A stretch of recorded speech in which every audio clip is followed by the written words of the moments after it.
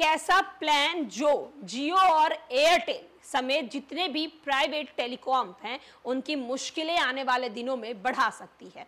नमस्कार, मैं श्वेता और आप देख रहे हैं न्यूज़ फॉर्नेशन प्राइवेट टेलीकॉम ने जब से अपने रिचार्ज प्लान को बढ़ाया है, तब से लगातार उनकी मुश्किलें बढ़ती हुई नज़र आ रही है।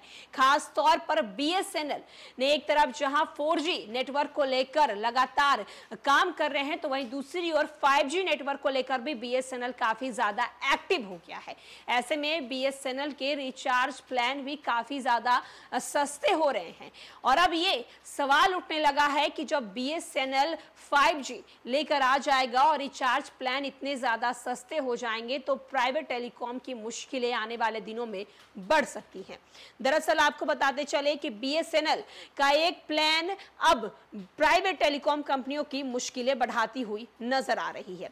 बी एस एन एल ने इन दिनों प्राइवेट टेलीकॉम कंपनियों की टेंशन बढ़ा दी है। सरकार सरकारी टेलीकॉम कंपनी पूरे देश में 4G सर्विस शुरू कर रही है। साथ ही 5G की भी लॉन्चिंग को लेकर तैयारी चल रही है।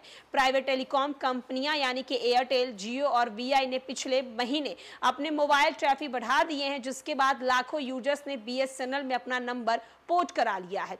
सरकारी कंपनी यूज़र्स को खुश करने के लिए अच्छे अच्छे ऑफर्स भी दे रहे हैं। BSNL के पास कई सस्ते रिचार्ज प्लान है, जिसमें यूज़र्स को लंबी वैलिडिटी मिल रही है। प्राइवेट टेलीकॉम कंपनियों के महँगे रिचार्ज प्लान के मुकाबले बीएसएनएल अपने यूज़र्स को आधी कीमत से ज़्यादा फ़ायदे दे रहा है। बीएसएनएल का एक ऐसा ही प्लान है जिसकी कीमत दो सौ से भी कम है और यूज़र्स को इसमें सत्तर दिनों की वैलिडिटी मिलती है।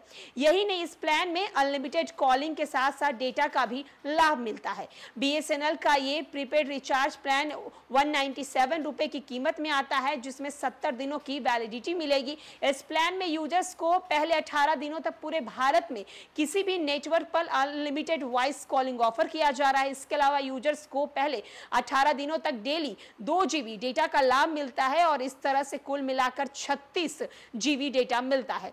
अठारह दिनों के बाद यूज़र्स को बी के इस रिचार्ज प्लान में चालीस के बीपीएस की स्पीड से अनलिमिटेड इंटरनेट डेटा ऑफ़र दिया जाता है। यूज़र्स को इस प्रीपेड रिचार्ज प्लान में शुरू के 18 दिनों तक डेली 100 फ्री एसएमएस का भी लाभ दिया जा रहा है। यूज़र्स इस प्लान के साथ अपने सिम को 70 दिनों तक एक्टिव भी रख सकते हैं। यूज़र्स को 70 दिनों तक अपने नंबर पर फ्री इनकमिंग कॉलिंग की भी सुविधा मिलने वाली है। जिन यूज़र्स को 18 दिन के बाद भी डेटा और कॉलिंग का लाभ चाहिए तो वो अपने नंबर को बीएसएनएल के डेटा और कॉलिंग वाले टॉप वॉचर के साथ रिचार्ज करा सकते हैं। फ़िलहाल प्राइवेट टेलीकॉम कंपनियों के पास ऐसा कोई भी सस्ता रिचार्ज प्लान नहीं है, जिससे दो सौ से कम कीमत में सत्तर दिनों की वैलिडिटी की ऑफ़र की जा सकती है। तो आप देख सकते हैं कि B S N L market में अपने आप को मज़बूत करने के लिए लगातार प्रयास करता हुआ नज़र आ रहा है। एक तरफ़ जहाँ प्राइवेट टेलीकॉम कंपनियों ने अपने प्लान के, यानी कि अपने रिचार्ज के पैसे जब से बढ़ाए हैं, तब से बीएसएनएल की मांग काफ़ी ज़्यादा तेज़ी से बढ़ रही है।